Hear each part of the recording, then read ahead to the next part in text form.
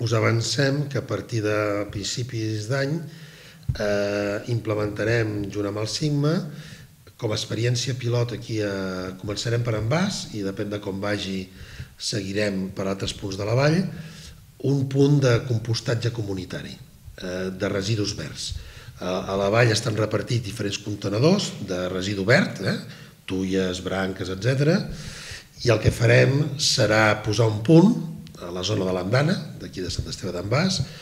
en el que eh, hi haurà mm, diferents apartats, la gent podrà deixar directament, eh, abocar allà directament els residus, eh, es compostaran i llavors hi haurà una altra part que aquell compost que utilitzem pels jardins, pels testos i tal, lliurement la gent, és a dir, jo aporto, no? aporto, ajudo a, a reciclar, m'emporto aquest compostatge per utilitzar-ho a casa estem segurs que la gent ho farà amb responsable, vull dir que no, no, no deixarà una branqueta i s'emportarà un camió de, de compost, sinó la idea és que, per això se'n diu compostatge comunitari, no? que tothom aporti